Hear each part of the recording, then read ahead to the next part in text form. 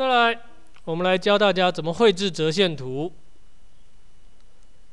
有了统计表，我要把它画成折线图这一种统计图，我一样要先有一个格线图在这边。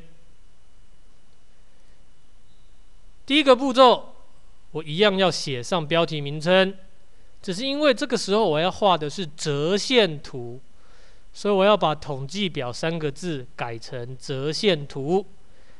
因此，这个统计图的名称就会变成“爷爷骑自行车里程变化折线图”。第二个步骤，我在垂直轴标出我们要统计的这个量，这里的量就是里程数 km，把它标示好。第三个步骤。在垂直轴取相等的间隔，标示出量的变化。好，有时候题目会给我们两格，要我们填剩下的。那你看，每一格从零到二，代表每一格的大小都是二，所以我下一格就是二加二四，再下一格就是四加二六，那以此类推。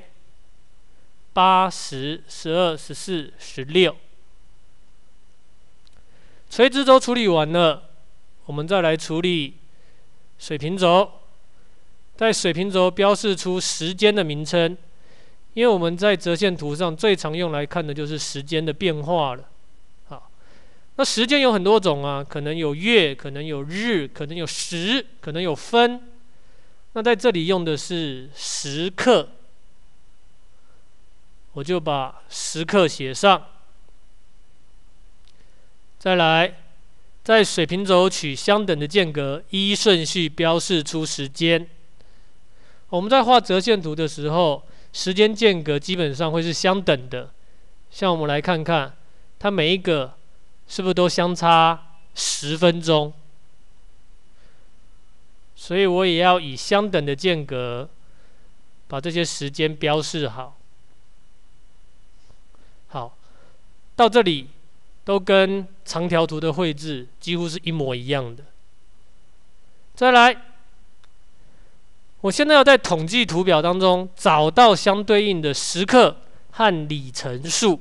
我们看一下，八点这个时刻是在零公里，所以呢，我八点跟零交叉点就在这边。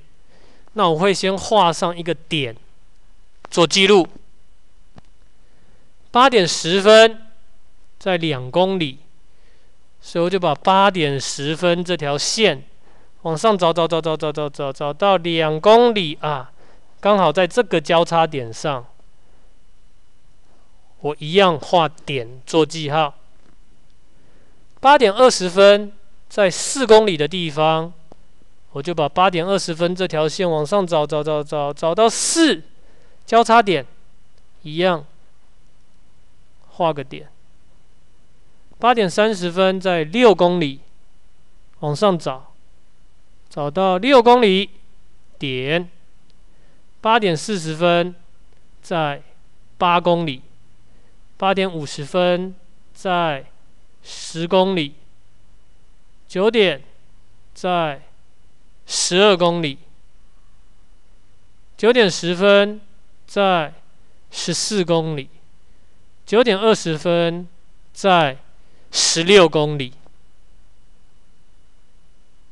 所以每一个时刻跟它的里程数都会有个交叉点。那记得找到这个交叉点，里程数跟时刻的交叉点。好，最后一个步骤就是将步骤六。所有的点依序用直线段连起来，一个接一个，一个接一个，这样子连过去，这就是我们的折线图画法。